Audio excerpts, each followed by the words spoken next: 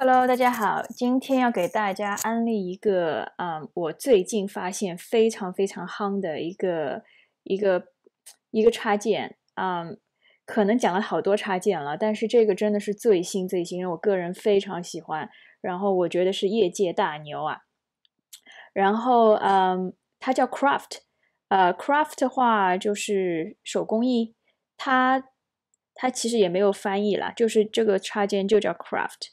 然后它是由呃 Invision 出品的，Invision 就是之前我给大家介其他的课也介绍过，它是一个 prototyping 的一个 tool，然后是非常简单，不需要有任何学习曲线的一个一个一个 hotspot，就是直接加热点可以连接各种呃手机屏幕啊，或者是你做的 mockup 这些东西。然后 Craft，嗯。长这个样子，它是 Invision Labs 的一个作品，然后大家可以到它的官网上去下载，我也会给大家在附件上准备好，所以这个是大概 Craft 的一个预览这样子。我给大家看一下他们的 demo，其实做的已经非常好了。This is Craft, a powerful new set of tools to drive the screen design workflow of the future. It's for Sketch and Photoshop. You can add real, unique content with a click.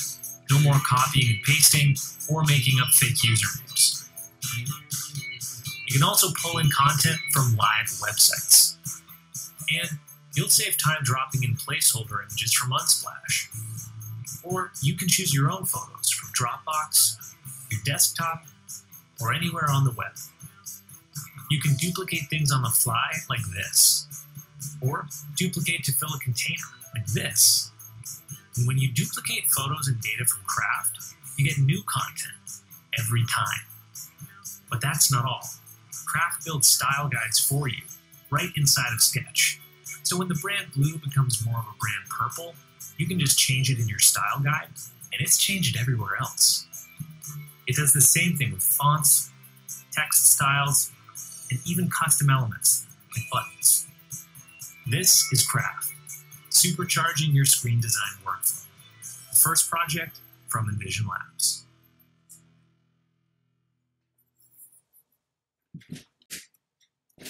好，可能录音的音效没有特别的好，大家可以去他们 envisionapp.com craft video 去看一下。你就是百度搜索也可以啊。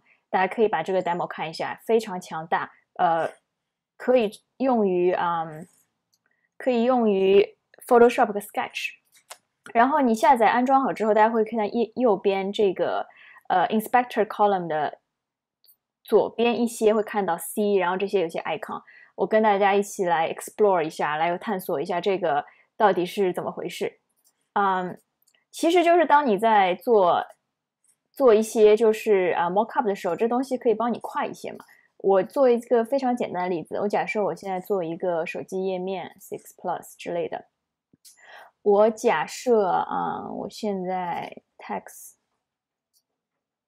我要写一个 email 之类的。我假设名字加 email 好了，然后我点到这里，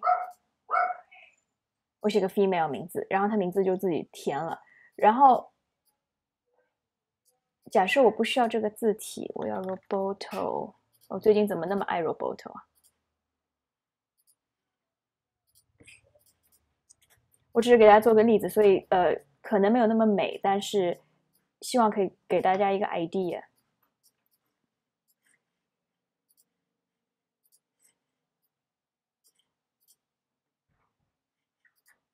好，我只要按一个键，在 name 这边按一下，我要男女的名字都要，它就直接帮我换掉男女的名字了。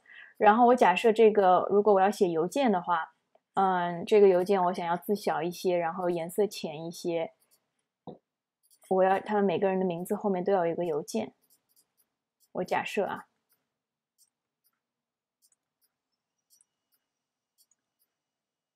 然后对齐的话，我等一下会再重新对齐。然后我需要他们的 email 做一个 mockup，然后我就可以点一下，然后把那个 text box 拉长一些，不要把那些字都切掉。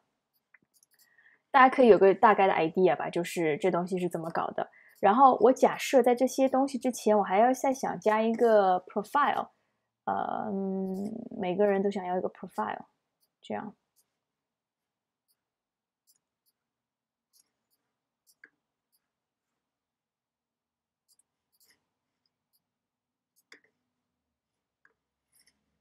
想要把它们都对齐一下，可能效果会好一些。然后我让它们平均分布。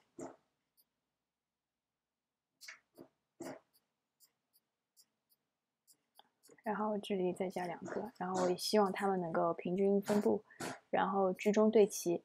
那这边是 photo，photo 的话，你可以到你自己啊根目录下面的 photo 去拉图片，也可以到 Dropbox，就是网上的云端，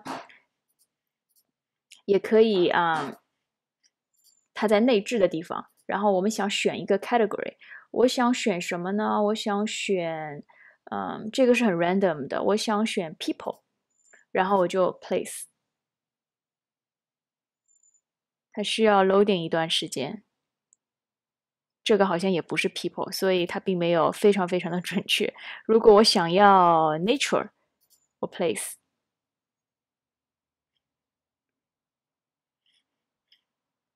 它需要从云端下的，所以比较慢。基本上就是这样，非常非常快。然后我不希望它有外面的 border，我不要。然后大家可以看到，嗯，这些信息都是假的，但是它在做 mockup 的时候呢，非常快的可以给你填入这些正确信息，而不是用那种非常非常假。这些是假的，可是它在 mockup 当中有非常。作作为对设计来说非常有帮助，因为当你在设计时候，你希望设计最简单的 case 和最复杂的 case，那用真实的呃信息是最好的。当时当然你有时候没有这么快的真实信息给你去拿头像啊之类的。之前有非常多的插件也是这种填颜色啊之类的。这个好处是你还可以到 website 去，就是比如说我到 google.com，我还可以从网站上拉文章下来，直接是最新的文章，而且是真实的文章，你可以填到你的。呃，paragraph 或者是你的内容里面，如果你要呃，就是做有一些页面是，比如说以图片为主的，假设一下，就是呃，上面是一个 navigation，然后这是一张图片，然后这里有一些点赞，这里又是另外一张图片，我只是举个例子啊，然后我可以啊，想要说 food，就大家自拍啊或者之类的东西，然后它就马上就出来这些东西了。然后这些图片都是 random，而且目前来说质量还不错，有一些会有像素低的问题，但是目前来说质量还不错啊，就是类似这样子。然后还有一个强大的功能呢，我这边因为还没有嗯创造自己的 style，如果你建立自己 style 之后呢，在里面改字体或者是改品牌标准色，它所有的界面都会改掉。呃，这个是刚刚视频里提到的。然后啊，其中还有一个我觉得也很有用的，就是当你有一段文字，比如说你有一张照片有这段文字的话，它这边有 article。当你点开 article，我比如说我要 technology，然后它整篇文章就贴给你了，而且还是真实没有语法错误的文章。而且呃这些因为字非常长嘛，所以你自己还可以调整啊这些字的排版啊之类的，就是非常非常便捷。你还可以在上面，假设我又要放一个图片。然后这个图片我不想去往上抓，我就想在这里，然后在我的 category 目录里面想说，嗯，既然是一个科技的文章，那我找一个比较啊符合一点的，那我找 San Francisco 之类的。这张丑了一点，当然你重新按还是可以换的。